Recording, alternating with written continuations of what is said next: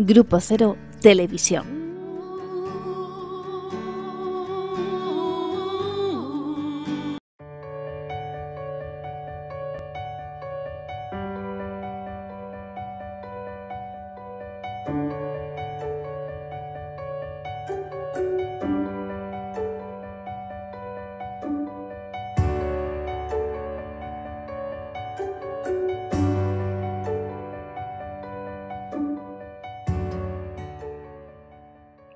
Sonrisa para recibirte. ¿Qué tal? Muchas gracias, Norma. ¿Cómo estás? Bien, ¿y tú? Bien, bien, aquí, con las noticias del día un poco. Con las noticias, Pero sigo escribiendo, ¿eh? A pesar de todo. A pesar de todo, que se viene el mundo abajo, explotan los mares, el océano está a punto de producir un volcán que no se sabe el destino de la Tierra, del planeta, dice. Mirá si después de tanto, la, ¿cómo se llamaba? La campaña que hacían de protección del planeta, mirá si explota el océano. Sí, que eso no estaba previsto, ¿no? Cómo proteger el planeta, van a culparnos y van a decir que es por culpa nuestra porque hacemos algo mal. Sí, porque se movió toda la Tierra, ¿eh? hubo un movimiento sísmico en todo el planeta. No solamente el movimiento sísmico del volcán, que ahora está peor acá en, este, en Canarias, ¿no? en Las Palmas, sino que este, se movió toda la Tierra. Miramos. En pequeña cantidad, ¿no? Sí, que no nos hemos Bueno, que parece que algo está pasando. Dios se enojó. Claro, de tantas injusticias. Está mandando pelotazos. Sí. Bueno, vamos al cuento, ¿queréis? Sí, vamos al cuento. Se llama Una noche de amor y un delirio. Muy bien, adelante. Buscaba una manera de expresarse paso a paso, sucesos de tiempo insomne que retornaban en los atardeceres, cuando la veía María crecer como los nudos en la corteza del árbol, lentamente, siempre al pie del ciprés donde nacía la hierba en la que solía recostarse a la hora de la siesta, radiante en su quietud, donde no cabía ninguna orgía del crepúsculo. Todo era olvidado en esos ratos donde no cabía ni un pájaro en sus sueños. Se quedó allí, en ese pueblo, junto al río, sin esperar recorrer toda la tierra que se le escapaba de las manos, lejos de las costumbres y las fiebres que la asolaban a veces, como si fuesen enfermedades de su propia memoria. Mientras, la ciudad se extendía a lo lejos, en todas direcciones, abriéndose bajo la tierra, sin el precio de ningún rescate, apenas nubes que se movían como caricias que disolvían el golpe de las olas sobre las piedras que ella imaginaba allá a lo lejos y que nunca conocería. Permaneció allí todo el tiempo necesario, tirada al sol, cuando sus, sus quehaceres se lo permitían. Eran esos momentos en que las cosas subían y los lugares se dilataban, escapando de esos lazos que la tenían prisionera. Frenéticos pensamientos que la acosaban se extinguían cuando se abrió la jaula de su demencia, cuando los bellos gatos que la rodeaban comenzaron a aullar enterrados vivos, como si tuviesen una peste real que se instalaría en su cabeza lentamente y sus vestidos flotasen en el aire sin nadie adentro, y de nuevo se perdiese implorando piedad a los ídolos del orgullo y del desamparo. El paisaje se rompía en trozos llenos de luz inquietante y sembraba los caminos que se volvían intransitables con filos de vidrio que lastimarían los pies de cualquier caminante, pero por los que ella corría tratando de alcanzar alguna gracia, alguna sonrisa amable que le recordara la cordura. El tiempo comenzó a transcurrir despacio. Ella dejó de realizar las tareas domésticas y permanecía tirada en la cama sin hacer, donde se, se desparramaban como crines los estupores de la luna, como raíces de lo que sería su fábula sin moraleja final. Me parecía que toda la casa se había transformado en un bloque de hierro y ella permanecía emparedada sin poder salir, atascada entre esos sillones forrados de arpillera, una lámpara que colgaba del techo, una muñeca que conservaba aún las huellas de sus manos, hechas de fibras de palmeras y vestida con trapos, y un cuadro de algún servidor de Dios que desde las sombras de su desdicha parecía mirarla para seducirla con una mirada violadora. La casa se le, había vuelto extraña, había dejado de habitarla, tal vez no era la casa, sino la rama de un árbol de la cual se sentía suspendida. Al amanecer, desde la ventana, solo se veían por el sendero las hojas secas y a lo lejos, sobre la hierba mojada por el rocío, las vacas pastando. Un furioso llamado del día que ella no escuchaba, una invitación siempre declinada, donde su deseo oscilaba hacia la muerte y los placeres que había descubierto llamándola desde la sangre. Él venía de la ciudad, la ciudad se le metió en el cuerpo como un desastroso desconocido que le preguntaba por su vida en su misma lengua, íntimamente cercano, pero también lleno de miserias, y que le dejaron un juramento estéril como una piedra.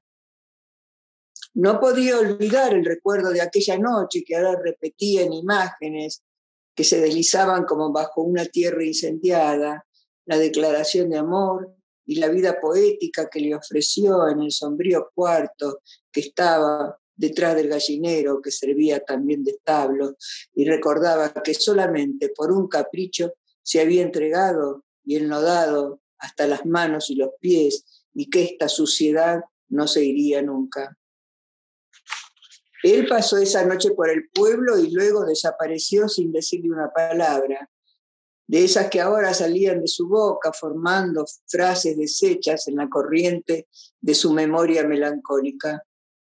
Por momentos pensaba que Dios o esos demonios ya le estaban destinando ese desenlace desde el principio de su vida, pero contempló la posibilidad de que ellos mismos la matarían enseguida porque su vida ya estaba perdida y nada podía corregirla. Los espíritus que tejen ambiciones habían vuelto y la perturbaron con terribles recompensas que ahora le exigían que pagase con lo que tenía, y lo que tenía era esta desorientación donde estaba dispersa sin saber bien si era de ese lugar o era una extranjera perdida en los brazos de un amante que se fumó como una sombra violadora. Entraron en la casa un hombre bajito, de cabellera rojiza, de nariz larga y acento extranjero. Luego un hombre alto, encorvado, con una cabellera en desorden. Luego otro, joven, grueso, de cara colorada y lentes. Eran los enfermeros que intentaban sacarla de su encierro, pero ninguno era él. Los miró lentamente, uno por uno, pero él no estaba. Lo que una noche había sido pasión entre la risa de los campos se había transformado en un polvo pesado que quería sacarse de encima, sacudirse para no ser aplastada y no podía. Como un gran pájaro lento y pesado se, se dejó llevar con el alivio de no tener más que descender cada noche a su cama, con esas imposibles visiones que le invadían como langostas hambrientas que surcaron caminos equívocos, que nunca, nunca regresarían a ningún lado porque no tenían futuro, que permanecerían tirados como olvidos, abandonados a sórdidos milagros, entre un juego de luces paradisíacos y grandes espejos obscenos. Y ahí termina. El cuento se llama una noche de amor y un delirio. Una noche de amor y un delirio, eso es. Como si una noche de amor provocase un delirio. Parecería, ¿no? A esta chica le provocó, la sacó de esa quietud y de esa tranquilidad que tenía y la, la sublevó demasiado, ¿no? Una noche de amor. La confundió, ¿no? Perdió el rumbo, perdió añorando ese, ese placer, ese goce que nunca había sentido, ¿no? Porque era una niña, María, se la veía crecer, ¿no? Ahí en el campo. Bueno, y ya está, eso así. ¿eh? Después se la llevaron. Sí. Como un pájaro pesado, ¿no? De, las, de los brazos pero para ella fue un alivio porque no tenía por qué volver otra vez a esa cama donde la acosaban las cosas delirantes, ¿no? Bueno, una historia de amor que también explica de alguna manera esa pasión del amor, ¿no? Que a veces llega sí, que también se podría pensar como si fuese un poco un abuso, ¿no? ¿No? Hay chicas que dicen que fueron abusadas y que entonces que es el abuso que provocó ese delirio, ¿no? Como no poder reconocer que ahí tuvo deseo y entonces que le gustó y que...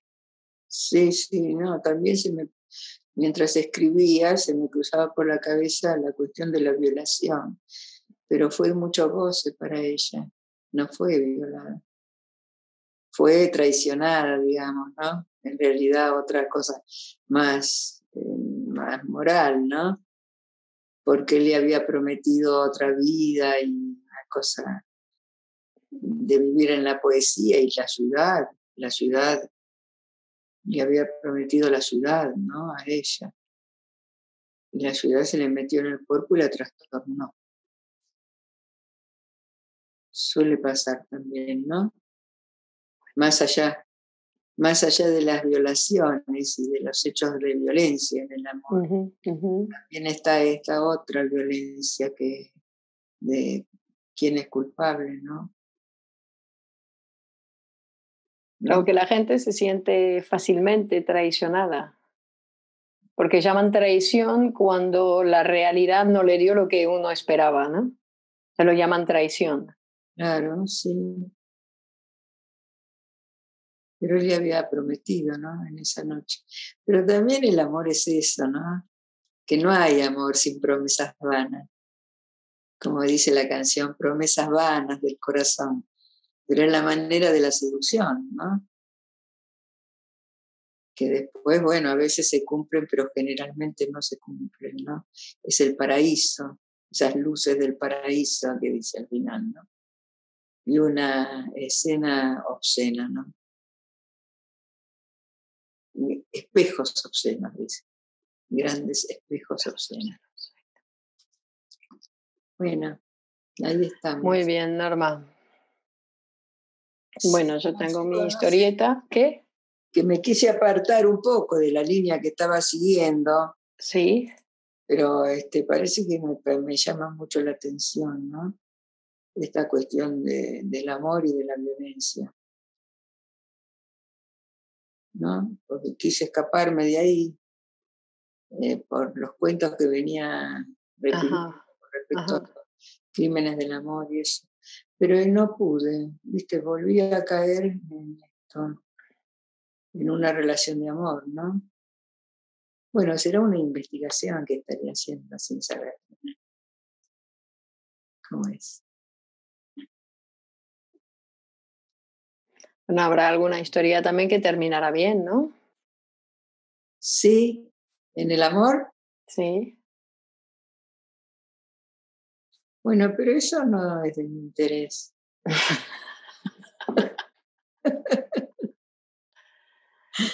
El amor es interesante cuando es, es difícil y complejo. Mm. Claro, cuando hace síntomas, ¿no? Porque la preocupación viene de estos crímenes que se están cometiendo.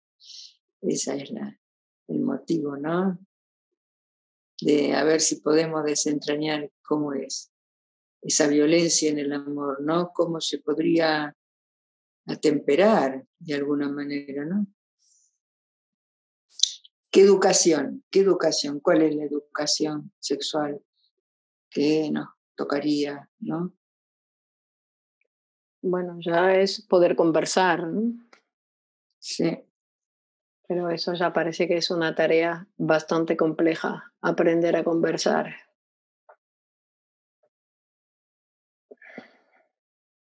Por miedo, ¿no? Miedo a, sus propias, a sus propias palabras. Claro. Y me tenga que transformar, porque después, ¿no? Tiene que haber una transformación, porque si no son palabras vacías, ¿no? ¿Tú has escrito? Sí. ¿Has escrito? Sí, sí. Se llama El espectador. El espectador. Muy bien. Siempre busqué ver grandes aperturas en el mundo y no vi nada. Bestias atrapadas salpicaban sus tugurios. Entonces miré y todo se había hecho espectáculo universal, alimentando y a la vez haciendo a los niños de la tierra, a la esposa del rincón de la igualdad, igualando la felicidad al terror y el espectador al actor.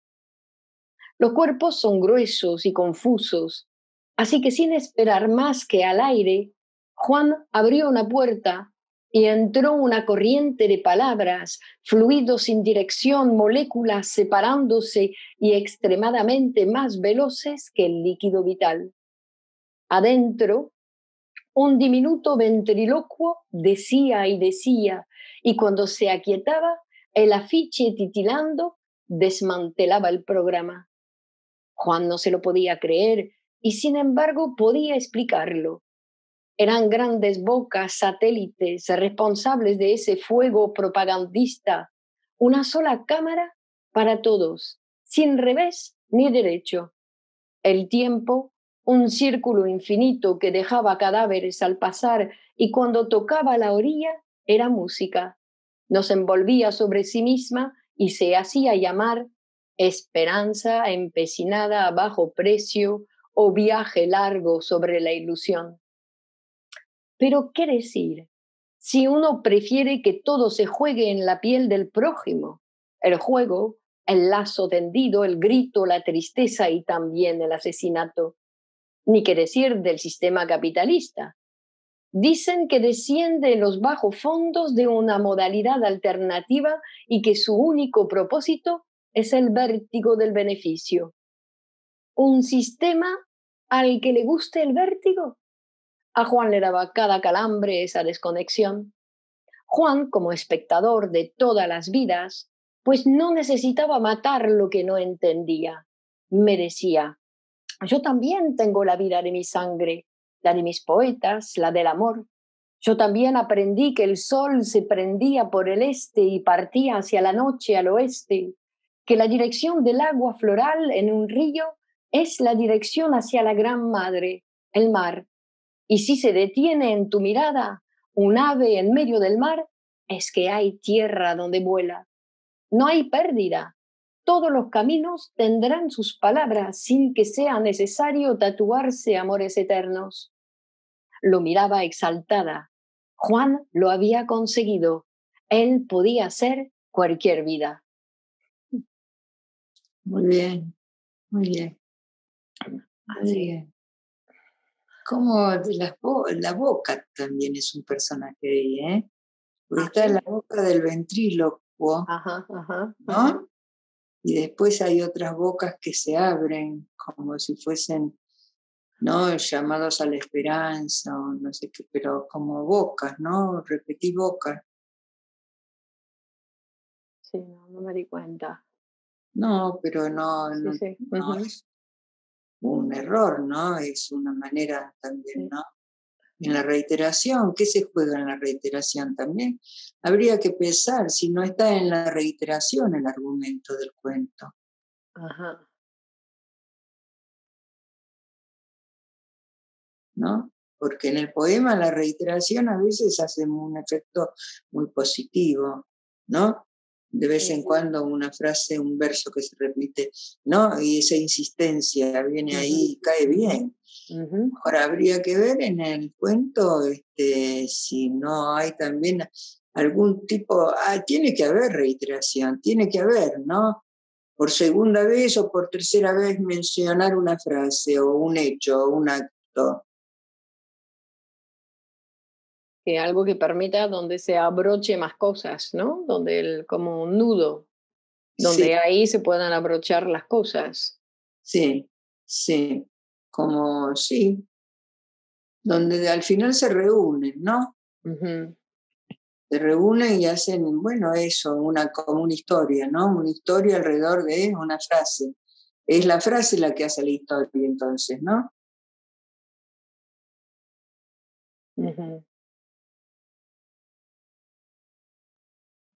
Bueno, muy bien. Y después pones la esperanza, ¿no? Por ahí una ilusión o una esperanza de felicidad, una felicidad pones por ahí, ¿no? Sí.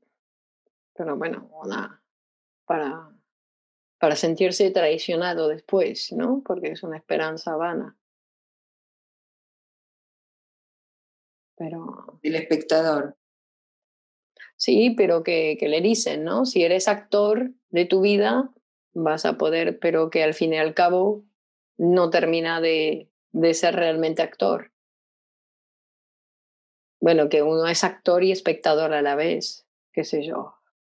Había ese libro, ¿no? ¿Cómo se llamaba ese, ese tipo que hablaba de, mm,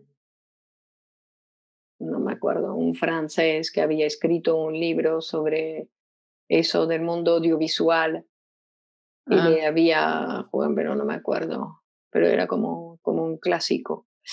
Ahora no me acuerdo. Bueno, pero es una frase repetida en la pintura, ¿no? Donde el espectador o el que mira es el que hace el cuadro. El cuadro se completa con la mirada del espectador. Entonces no hay una posición pasiva del, del que está ahí mirando, el espectador. Es, eh, al final es activo, ¿no? Si crea el cuadro, si le da vida al cuadro. Es un cuadro cuando he mirado el cuadro. Si no, no tiene existencia, ¿no? Claro. Pero este, sí, que es, ¿no? Que no es pasivo un espectador, viene de expectante a lo mejor, ¿no? De estar esperando algo. Un espectador está a la espera, conducta expectante, esperando. Bueno, pero expectante es decir que le venga la, ¿no? la información.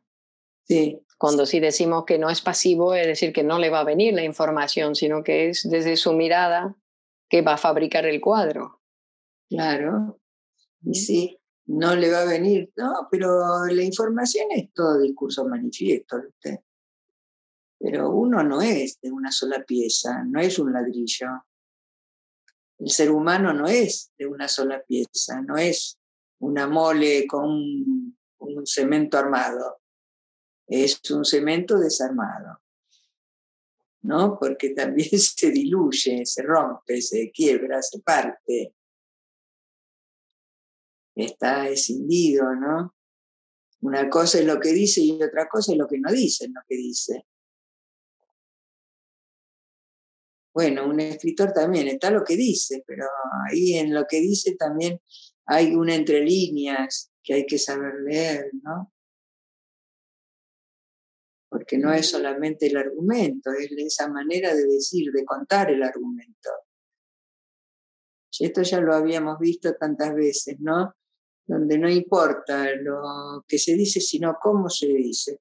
Porque en realidad los grandes temas de la humanidad no son muchos, son tres o cuatro. ¿eh? Y sin embargo todo el mundo sigue escribiendo sobre esos temas. Entonces, ¿dónde está el escritor? ¿Está en el argumento o está en la manera de decir lo que el argumento repite? ¿No? Bueno, pero está bien también que haya alguna novedad, ¿no? Porque cuando uno escribe también de alguna manera vuelve a escribir, ¿no? Sobre lo escrito, entonces da una nueva versión y puede... Da una versión, pero nunca es la versión original, ¿no? Da una nueva versión. Originalidad, viste, decíamos el otro día con, con Menaza, con el escritor, que es, ya tiene una larga trayectoria, ¿no? Que es el, el poeta se va haciendo con otros poetas, no inventa nada, ¿eh? El que quiere ser original pierde su originalidad, porque se pierde, se desvía de, del poema, se desvía. Entonces, no, hay que asumir la herencia, ¿no? Hay que asumir. ¿Cuántas Madame Bovary hay en la historia, por ejemplo? ¿Cuántos? ¿no? y así siempre, ¿no? Que las escenas este, cuántas veces, ¿no? Shakespeare y el padre y el, el fantasma, y, ¿no?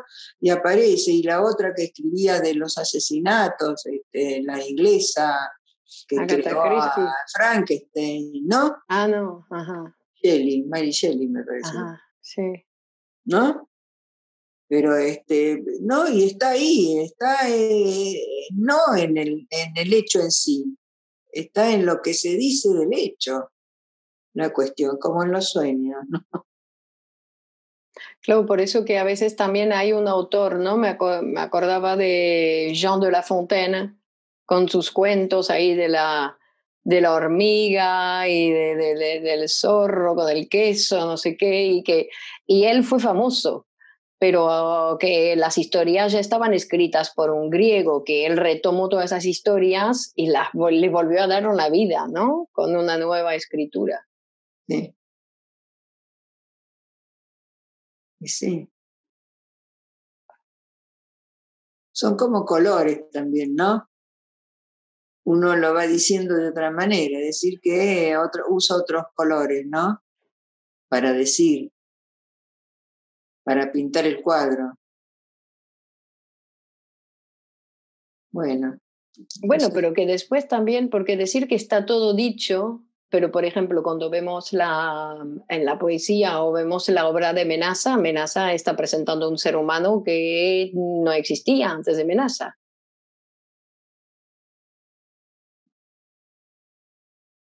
¿O sí? No, existir existía. Lo que pasa es que no era leído el no existir, Claro, pero que por eso, sí, pero que humaniza, ¿no? Esa parte del, del, ser humano que no, no empieza a existir una vez que está producido la escritura. Claro, ahí hay existencia. Y por aprecú, ¿no? Y entonces ya podemos ver por aprecú, pero... Que no es la cosa, es el nombre de la cosa lo importante. Para la escritura es igual, ¿eh? No es la esa, eso es lo que intentaba decir, mira. No, ahí está clarito, no es, yo digo, no es el argumento, es lo que se dice de lo que pasa, ¿no? No es la cosa, es el nombre de la cosa. Como Freud dice, no es el sueño soñado, es el sueño contado. Ponelo en palabras y ya es otra historia. Ya ahí estás metido, ¿no? En esa doble faceta que tenemos. ¿Y tú nunca hiciste el ejercicio, por ejemplo, de con tu argumento de tu cuento de hoy e intentar volver a escribirlo? ¿Volver a escribirlo o no? Con ese, mismo, con ese mismo argumento. Ah, sí, sí, pero viste, ya me quedaron tres o cuatro ideas pendientes, como me quedó pendiente la cuestión de la violación. ¿No? Cuando hice que esos tres enfermeros que entraban con esos personajes. Sí, sí, yo pensaba que eran violadores. La van a violar. sí. pero no, bueno, pero eso quedó pendiente ahí, ¿no? Quedó ahí en el tintero, no, no la violaban, la levantaban en andas y la sacaban del encierro. Bueno, así que veremos la semana que viene en qué episodio seguimos entonces. Bueno, podemos, podemos eh, avisar, la próxima vez habrá una violación. Ah, no sé. Hay una canción, ¿no? El Je ne sais rien de la magie. Ajá. Que dice también de... Que no sé nada de la magia, ¿no? Que transforma mi, mi carne en verso. Sí. Rien de la magie qui transforme ya, y habla de la violencia también. ¿no? En violon, violence. La violence des mots, des sentiments, la violence des sentiments. ¿Qué quiere decir en español? la, violencia de los sentimientos, que terminan siendo solamente para borde, borde no, no, me acuerdo cómo sea en español, pero... Bro de lemo, de lemo, oui. Bueno, Norma, seguimos entonces la semana que viene, ¿no? Que ya tenemos curiosidad. Vendremos ahí con expectantes. Hasta la próxima. Hasta la próxima. Chao. Chao, Norma. Un abrazo a todos. Chao, chao.